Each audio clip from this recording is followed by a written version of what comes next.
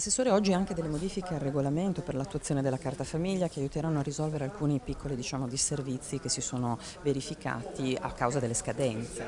Sì, abbiamo deciso di semplificare perché cerchiamo di, rendere, di agevolare la vita ai cittadini e anche alle strutture che si occupano del ricevimento di queste domande di Carta Famiglia.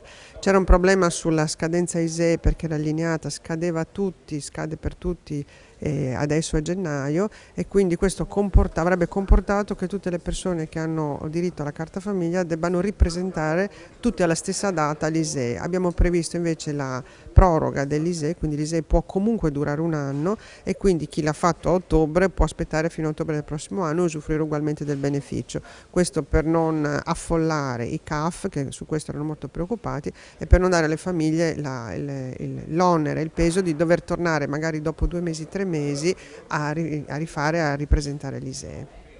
Quindi una semplificazione a favore dei cittadini ma anche degli uffici che si occupano di queste cose.